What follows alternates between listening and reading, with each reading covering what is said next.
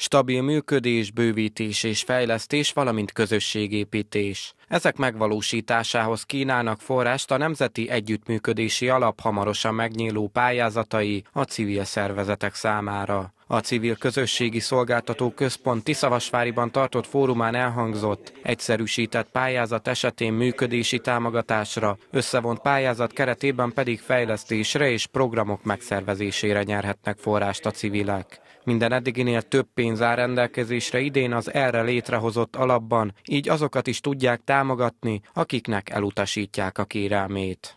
Minden olyan szervezet, aki esetleg a szakmai bírálaton elvérzik, amennyiben beixeli a rendszerben azt a, azt a rublikát, hogy ő egy 150 ezer forintos kompenzációra igényt tart, akkor azon pályázók, akik formailag érvényes pályázatot adnak be az összevont pályázatba, de forráshiány miatt eh, elutasításra kerül a pályázatok, 150 ezer forintos kompenzációt fognak kapni.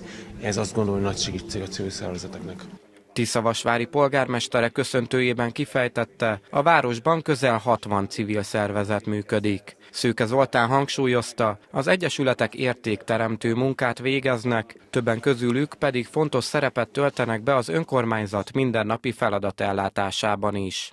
Tiszavasvári rendkívül fontosnak tartja azt, hogy ezek a civil szervezetek saját forrásból is támogatva legyenek, de annak külön örülnek, hogy van a NEAS pályázat, és ebből a pályázati lehetőségből tudnak a civil szervezeteink forrásokhoz jutni az elmúlt esztendőkben, és bízom benne, hogy a jövő esztendőben is, 2022-ben is sikerrel fognak majd pályázni, és tovább öregbítik a civil szervezeteink Tiszavasvári jó hírét, élénkítik a közösségi életét, és részt vesznek a város életében. Vinai Győző, a választókerület országgyűlési képviselője arról beszélt, az oktatás, a kultúra és a sport területén egyaránt nagy szükség van a civilekre. Mint mondta, a szervezetek munkája meghatározza egy térség és egy megye gazdasági jelentőségét is.